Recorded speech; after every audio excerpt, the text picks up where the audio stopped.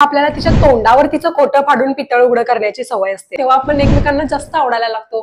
हे असंच असतं. कराल कारण माणसाचे वीक पॉइंट हे त्यांच्या डिरेक्टली इमोशन्सशी जुडलेले काहीतरी गोष्ट गोड करता येतेच ना माणसाला. ही कला असलीच पाहिजे प्रत्येकात. की त्यांच्या मनात बरोबर काडी पेटते आणि मग त्यांना समजतं की अरे तिला काहीच फरक पडत नाहीये.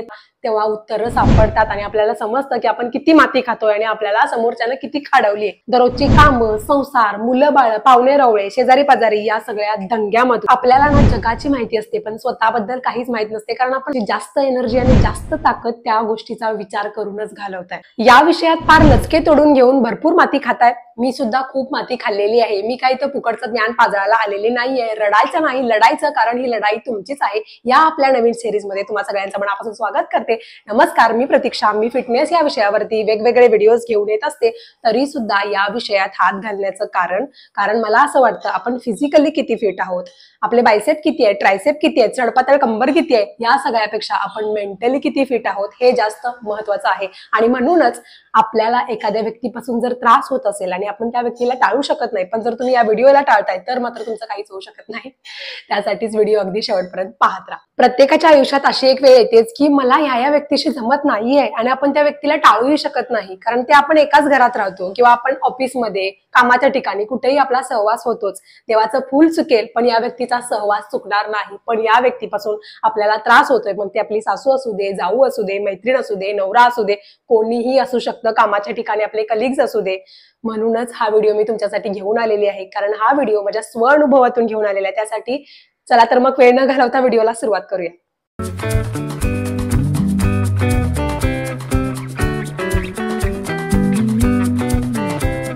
पॉइंट पहिला त्या व्यक्तीच्या स्वभावाचा अभ्यास करणे. आता तुम्ही म्हणाल काहीही काय? स्वभावाचा कोण अभ्यास करत?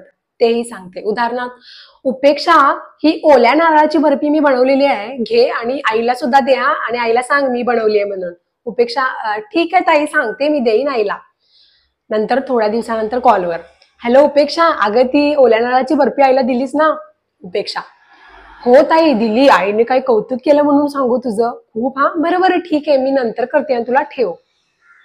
आणि बऱ्याच दिवसानंतर जेव्हा आईला आपण भेटतो आई ओल्या नारळाची बर्फी कशी झाली सांगितली नाही तुम्ही?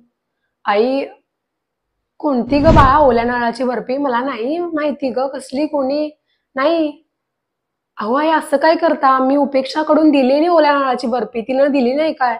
नाही गो दिली असती तर मी तेव्हाच कॉल करून सांगितला असता. आणि तुझ्या गोष्टी मी कधी हलगर्जीपणाने घेतल्यात का? ताबडतोब कॉल करून सांगितला असता. तू इतकं प्रेम करतेस माझ्यावरती. उपेक्षा तुझ्याकडून किती ग माझ्या अपेक्षा? आपल्याला स्पष्ट समजत असतं की उपेक्षा सारखी व्यक्ती आपल्याकडून साफ साफ खोटं बोलते मग हे छोट्या छोट्या गोष्टींमध्ये खोटं बोलणं असू शकतं किंवा तुमच्यावर जळणं असू शकतं तुम्हाला चुकीच्या पद्धतीने ट्रीट करणं असू शकतं किंवा तुम्हाला टोचून बोलणं असू शकतं किंवा तुमचा रागराग करणं सुद्धा असू शकतं. जेव्हा अशा गोष्टी घडतात ना तेव्हा आपल्याला तिच्या तोंडावर तिचं खोटं फाडून पितळ उघडं करण्याची सवय असते.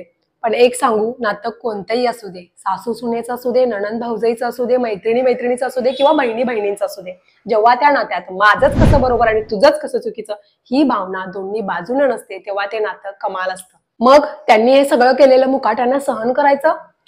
तेच तर तुम्हाला मी सांगते त्यांच्या स्वभावाचा अभ्यास करायचा. त्यांचं पितळ उघड करण्याऐवजी गोष्टी शांतीनं घेणे त्यांचं चुकीचं वर्तवणूक त्यांचं चुकीचं बोलणं जे काय असेल ते आपल्याला समजलंच नाही. असं दाखवून देणे म्हणजे त्यांना त्या गोष्टी अजून करण्यासाठी मुभा देणे. अशानं फायदा असा होतो की ते अजून चुकीचं वागतात आणि तेवढंच जास्त तुम्हाला त्यांचा मूळ स्वभाव हाती लागतो. आता तुम्ही म्हणाल त्यात काय त्या व्यक्तीचा स्वभाव असा असा आहे मला माहिती आहे कारण त्या व्यक्तीला मी खूप वर्षापासून ओळखते. जसा काळ सरकतो तसंच आपल्या आजूबाजूच्या लोकांमुळे आपले विचारही बदलतात.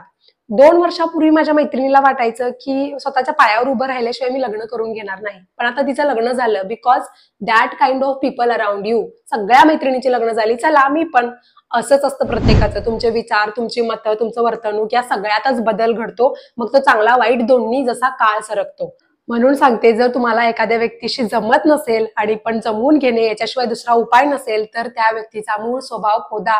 वेळ लागेल निरीक्षण करा. वर्षानुवर्ष जातात एखाद्या व्यक्तीचा स्वभाव. एखाद्या व्यक्तीला व्यवस्थित समजून घेण्यासाठी ती व्यक्ती काय झाल्यानंतर कशी रिॲक्ट होते आणि वगैरे वगैरे सगळं. आणि मग जेव्हा आपल्याला त्या व्यक्तीचा पूर्ण स्वभाव कळलेला असतो आणि ती व्यक्ती कशी आहे हे समजलेलं असतं आम्ही त्या व्यक्तीच्या नव्याने आणि पुन्हा प्रेमात पडतो. लक्षात ठेवा. मग ते कोणी असू दे आपली मैत्रीण असू दे आणि काही असू दे. भांडणं होतात तंटे होतात काय काय होतं आणि आपण परत एक होतो आणि तेव्हा आपण एकमेकांना जास्त आवडायला लागतो.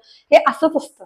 आता हा मूळ स्वभाव जाणून घेऊन नेमकं काय करायचं हे मी तुम्हाला व्हिडिओच्या शेवटी सांगणार आहे. पॉईंट नंबर दोन. जे आपण पेरणार तेच उगवणार. बघा आपण कुठेतरी ना आपण हे पेरलेलंच आहे म्हणूनच हे उगवलंय लक्षात ठेवा. प्रेमात इतकी ताकद आहे ना तुमच्यावर जळणारे तुमचा रागराग करणारे सगळे एक दिवस तुमच्यावर प्रेम करणाऱ्यांच्या लिस्टमध्ये येऊन पडतात. समोरच्याला तुम्ही जे देता तेच तुम्हाला रिटर्न भेटतं. आता तुम्ही म्हणाल आम्ही त्या व्यक्तीशी खूप प्रेमाने वागतो खूप आपुलकीने वागतो. ती व्यक्ती कशीही वागू दे तरी सुद्धा आमचं जमत नाही. कदाचित तुमची हीच निगेटिव्ह सोच तुम्हाला त्या व्यक्तीशी जमवून घेण्यात मागे खेचतीये. बघा जमलंच तर गोष्टी पॉझिटिव्हली घ्यायला शिका. पॉइंट नंबर तीन त्या व्यक्तीचे वीक पॉइंट. त्या व्यक्तीचे वीक पॉइंट एकदा का तुम्हाला समजले की तुम्ही जिंकला म्हणून समजायचं. उदाहरणार्थ या व्यक्तीला या पर्टिक्युलर गोष्टीपासून त्रास होतोय तर तुम्ही त्या होणाऱ्या पर्टिक्युलर गोष्टीपासून त्रास जो आहे तो सोडवण्यासाठी जर मदत कराल किंवा त्या व्यक्तीला एक काही गोष्टी करायला जमत नसतील किंवा त्यांचा एखादा प्रॉब्लेम असेल तो सोडवण्यासाठी जर तुम्ही मदत कराल तर लक्षात ठेवा त्यांच्या मनात तुम्ही खूप मोठं घर कराल कारण माणसाचे वीक पॉइंट हे त्यांच्या डिरेक्टली इमोशन्सशी जुडलेले असतात त्यासाठी तुम्ही तिथंच बाजी मारलात म्हणून समजायचं. पॉईंट नंबर फोर समजून घ्या when to react and when to not जेव्हा तुम्हाला वाटतं ना फटाकडीसारखं फटफट फटफट सगळं बोलून मोकळं व्हावं पूर्ण राग त्या माणसावर काढावा सगळं व्यक्त व्हावं तेव्हाच तर तुम्हाला नमतं घ्यायचं आहे.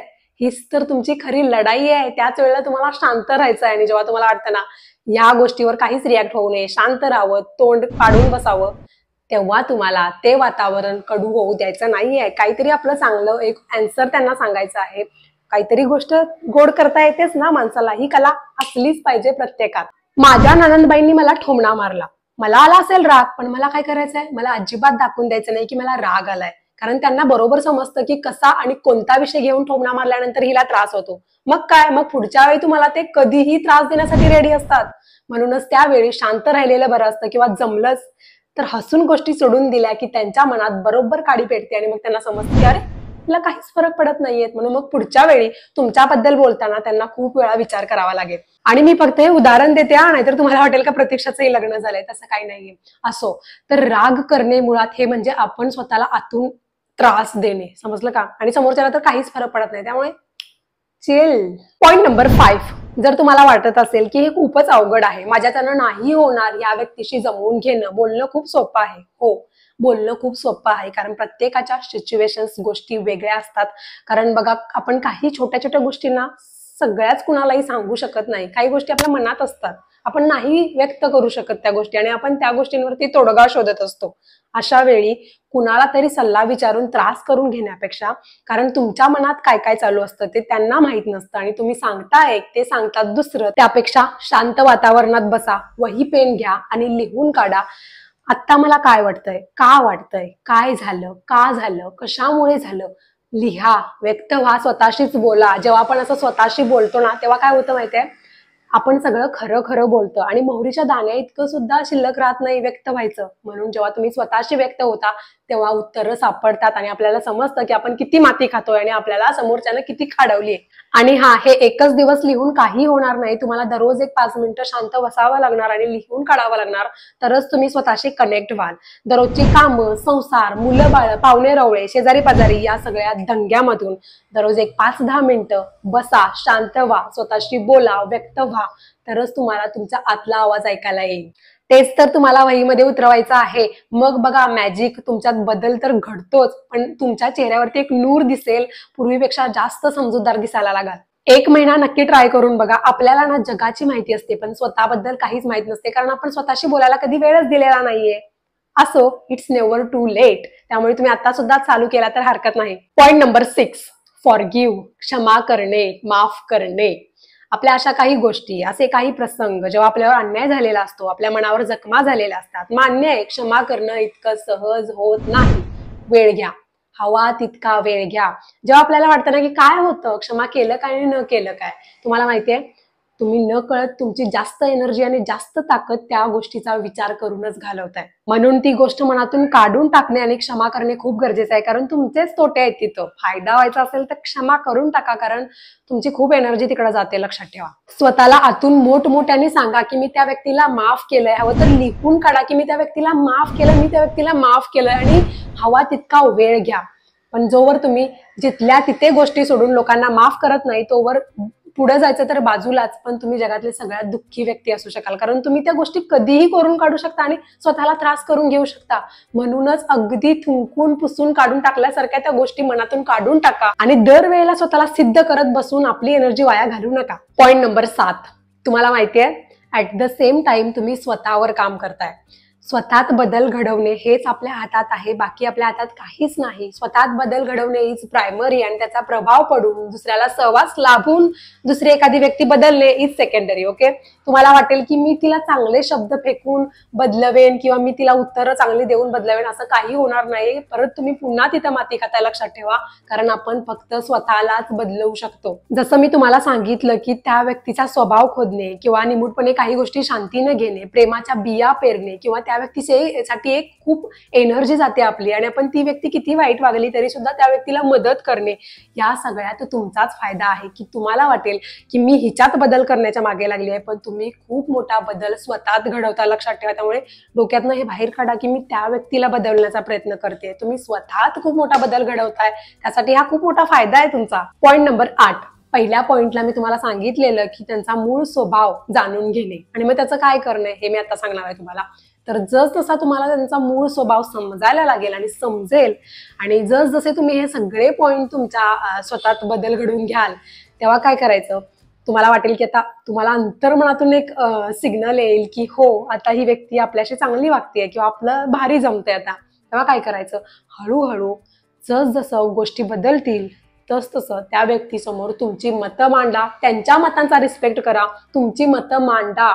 आता तुम्ही इतकं सगळं केलंय त्या व्यक्तीसाठी काय काय स्वतःत बदल घडवलाय तर तुमचं मत मांडलंच पाहिजे लक्षात ठेवा. तुम्हाला काय वाटतं हे तुम्हाला तुम्ही त्या व्यक्तीला सांगितलंच पाहिजे. असं नाही होऊ शकत की आता मी सगळं सहन करते आणि वगैरे वगैरे. तुमचं मत मांडा. आणि त्यांच्या मताचा सुद्धा रिस्पेक्ट करा. त्यांच्या विचारानुसार त्यांचं मत असेल. ठीक आहे ते तुझं मत आहे. आणि आपल्या मतानुसार आपलं मत असतं. त्यामुळे आपल्या मताचा सुद्धा रिस्पेक्ट करा. अशी मतं मांडत राहा. त्याशिवाय गोष्टी फुटत नाहीत आणि गोष्टी फुटून छान फोडून सांगितल्याशिवाय त्या अशा म्हणजे अंमलात आणता येत नाही त्यामुळे आणि त्या गोष्टींचा आपल्याला त्रासही होत नाही. कारण शेवटी माणूस आहोत आपण. त्यासाठी या सगळ्या गोष्टी झाल्याच पाहिजे. आणि व्हिडिओ अगदी शेवटपर्यंत बघितलाय. म्हणजे नक्कीच तुम्हाला हे काहीतरी ट्राय करायचं असेल. आणि व्हिडिओ कसा वाटला हे कमेंट बॉक्समध्ये कळवा आणि शेवटपर्यंत बघितल्याबद्दल खूप खूप मनापासून आभार.